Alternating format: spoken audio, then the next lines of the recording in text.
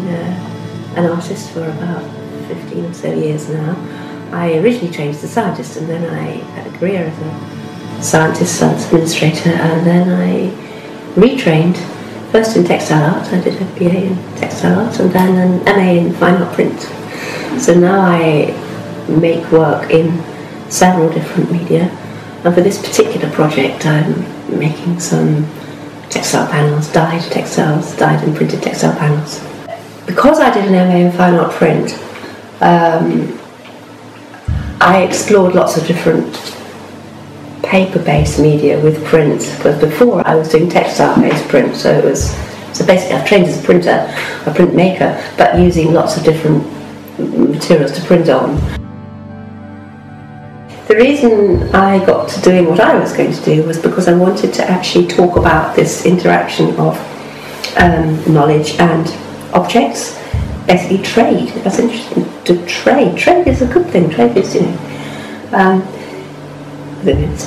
Um, and the obvious choice to think about trade is going to be the East India Company and how that was set up, how it worked, what it did, where it went wrong actually because it turned into a really horrendous corporate body with private arms. This, this idea of knowledge and history and all this background actually relates very well to putting together in a in a format which is not just a one piece, it's a related set of pieces. So I really like narrative, I like to know the story, I want to know um, why something is how it is. And if you actually do that. Books are wonderful for that because then you can have lots of pages each pages can actually take you a bit further. And so the format has always been really quite absorbing. And if you're going to make artist books, of course, you're actually looking to do things in a very visual way as well as in using words. And I use both.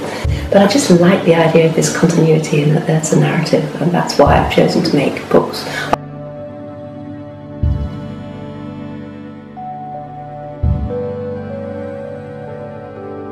Loved the piece about Zone of Dreams because it is such a, it has such a sort of an overview, such a grand um, theme, and that was really the set of themes that I am interested in. And it has this, uh, going back to this idea of connectedness, it, it connects, you know, our city, Bradford, with um, the wonderful countries in the in in the Asian areas, and it actually shows in a very clear way.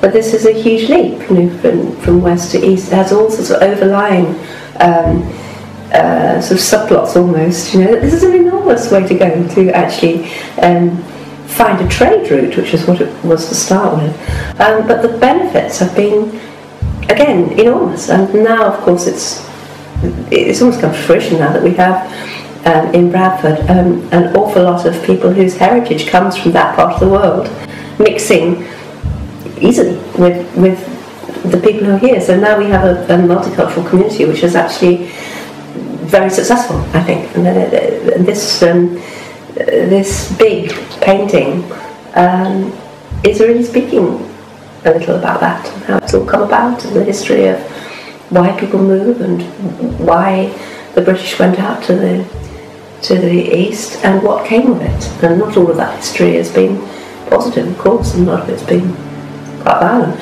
But it, it is a very interesting set of circumstances, and that painting, apart from being beautiful anyway as a painting, has got such a lot of background and narrative. Back to my I think the thing that I like so much about that exhibition is the bringing together of, of these pieces from such different cultures. Um, and then not only seeing the difference but also seeing the similarity as well um, and seeing again that um, we in our culture are using artifacts that actually were generated by the Asian culture a long time ago, like my dyer's madder, for example, and it's not possible in the West to have a nice solid red colour without the dye stuff being imported from southern India, actually. And when I was working mostly with textiles, the colour was primary important. I love colour and the nuances and the subtleties of colour and the way it changes with the texture of the substrate, the texture of the fabric. I think textiles rely very heavily on the textural quality, and colour is absolutely vital for that. If you're looking at print, words, storytelling, um, then sometimes colour can be a distraction. It can be so well.